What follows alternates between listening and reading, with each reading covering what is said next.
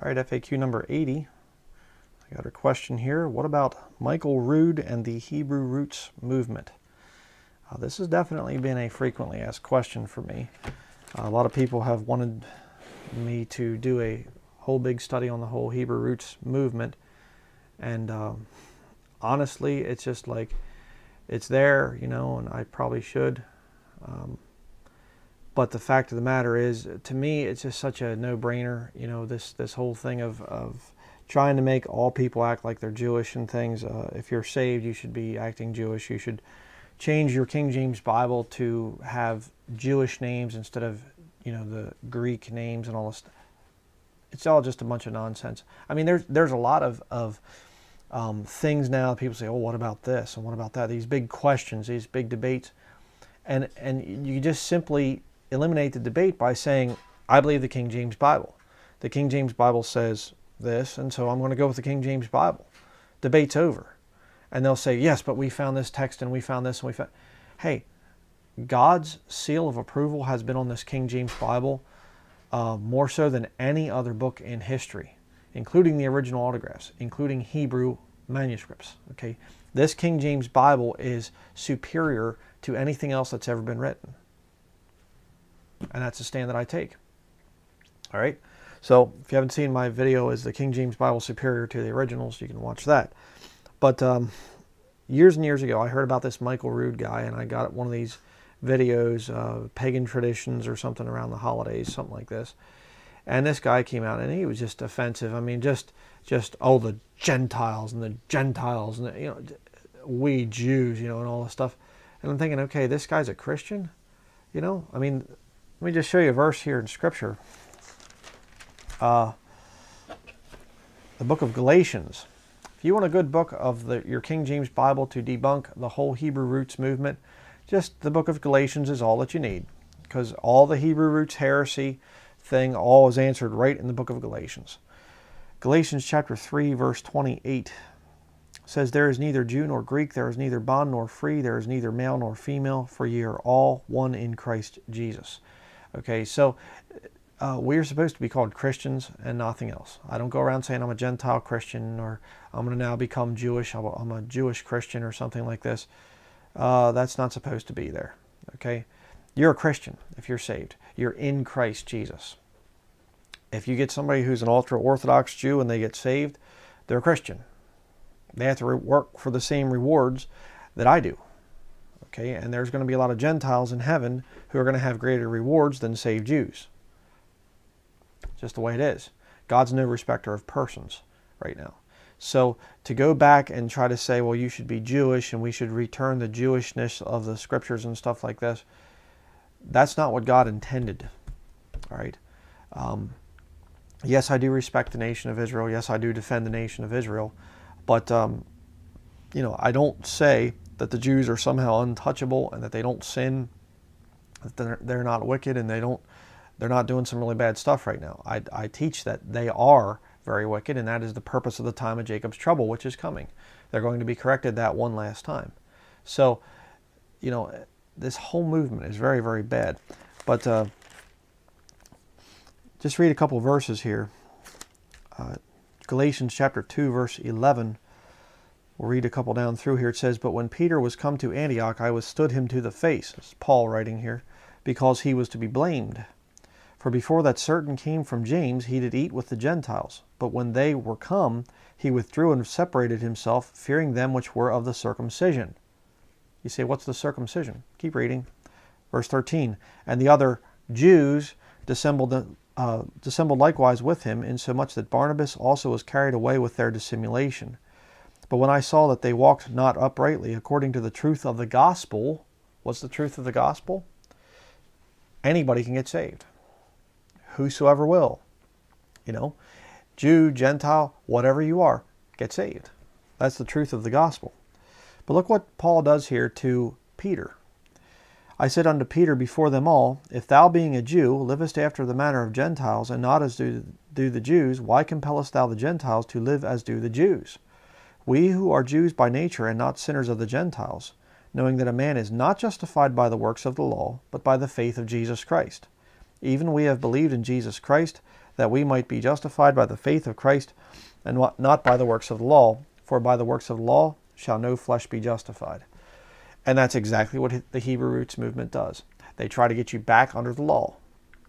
And another thing that they do, and I've seen this, uh, people have asked this question, they'll try to attack the name of Jesus. They'll say that J, the letter J, is a recent invention and whatever else. And so it's actually just, you're actually, when you say Jesus, it's actually Zeus, you know, Jesus or something in the Greek language. And so it's just a bunch of retarded people that have no idea what they're talking about. Okay, and again, have you been saved by the name of Jesus? Have you seen the power of the name of Jesus? Yes, obviously. More things, and miracles, and things have been done through the name of Jesus Christ than at any other name or any other pronunciation of his name. You know, uh, what's all this stuff? You know, oh, you know, well, uh, J was not an originally you know, back there in you know the Greek or the Hebrew language, so therefore it's bad. Well, um, back in the first century, there were no Bibles that looked like this. Nobody was carrying around a Bible like this. There were no ribbon markers in the first century, so I guess ribbon markers are an abomination. You see the, the stupidity of this thing? It's all these, these little attacks on your Bible, on the King James Bible. What about this? What about that? What about this? What about that? Hey man, do you believe in Jesus Christ? No, I believe in, you know, then they'll try to make the Hebrew thing, the Yeshua and whatever else. And you say, okay, what does Yeshua mean? If you translate from Hebrew Yeshua to English, what would the word be? Uh, here's a clue it's Jesus. Okay? So it's not some kind of a magical name, Yeshua, and that's the true name of Jesus and things, and Jesus is a false God or something. Yeshua is the Hebrew word for Jesus. And then you get these heretics and they'll come out and they'll say Yahashua and all this stuff. That's the name, you know, if you go from Yahashua, Hebrew, to English, you have Joshua. Joshua didn't die on the cross to pay for your sins, okay? So these people, they get all mixed up in all this Hebrew root stuff. And it just like Galatians, the book of Galatians. Okay, what is what am I supposed to do here? There, Hebrew roots heretics. Well, you're you're you're supposed to uh, you know become Jewish and act Jewish and things like okay. Um, and I'm am I still able to believe in Jesus Christ? Well, no, it has to be Yeshua, Hamashiach, and all this stuff. You have to do all this Hebrew stuff. Okay, um, is it faith alone? Well, no, because you can't get rid of the law, the Old Testament law. and th- See, the book of Galatians is all you need. They're trying to get you back under the law. That's all they're trying to do, you know? And I'll just give you a little thing here if you're falling for this. Galatians chapter 3, verse 1 through 3. O foolish Galatians, who hath bewitched you? That's what these, these Hebrew roots people are trying to do. They're trying to bewitch believers. That ye should not obey the truth, before whose eyes Jesus Christ hath been evidently set forth crucified among you. This only would I learn of you. Receive ye the Spirit by the works of the law, or by the hearing of faith? Are ye so foolish? Having begun in the Spirit, are ye now made perfect by the flesh? Look at Michael Rood. Look up pictures of the guy. I'm not even going to bother wasting your time, you know, putting pictures of this nut on there. He's like from California or something. It's funny. And, you know, he's got the big beard and, you know, and the whole Jewish thing and stuff. He'll be in his videos and he's dressed in all these priestly robes and everything. Although he's not a priest and he's not a rabbi, he's just a, you know, seeker of truth or some kind of whatever. You see what they do? They try to get you to start changing your outfit, changing your look and everything else. You say, What about you, Bryan? You got a beard. Yes, I have a beard because I'm a man. But I'm not trying to grow my beard so I can look like a Jew. I'm not going to start walking around saying I'm Jewish or something. I'm not Jewish. I'm German. Okay? So, you know, eh, this this whole thing is just absolutely ridiculous. And go to one other verse of scripture here which is very important. Revelation chapter 3 verse 9. Behold, I will make them of the synagogue of Satan, which say they are Jews and are not, but do lie. Behold, I will make them to come and worship before thy feet, and to know that I have loved thee. Okay, be very careful about calling yourself Jewish when you're not. All right, the Bible identifies people like that as the synagogue of Satan. And many of these Hebrew roots people, they start attacking faith in Jesus Christ. They'll, they'll tear down the name of Jesus.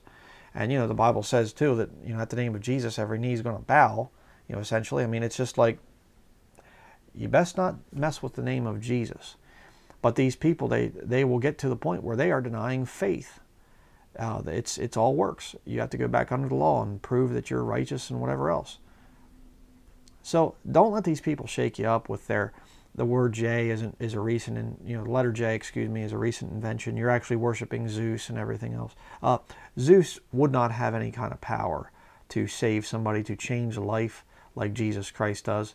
Um, there are no hymns written to Zeus. And you say, well, what about the hymns written to Jesus? Um, sing those hymns sometime and see what happens.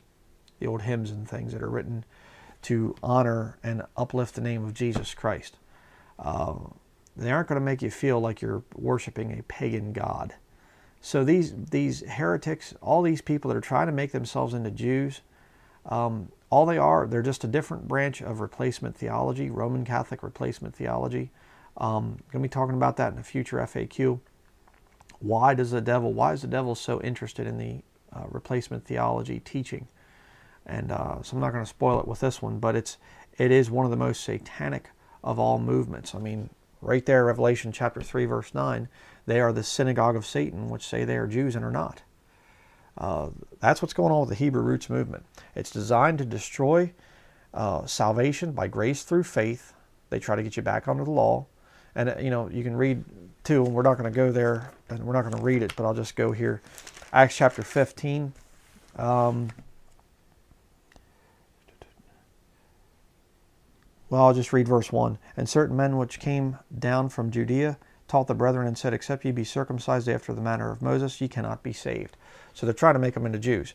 Read the whole chapter, Acts chapter 15. They actually have a council there with all the original disciples and things and, and the elders and, and I mean all the biggest men in Christianity back then and they all say no you know these Gentiles don't have to act like they're Jews um, your customs, your traditions, and things, as long as they are not making you sin, you don't have to give up your customs and customs and traditions of your kindred.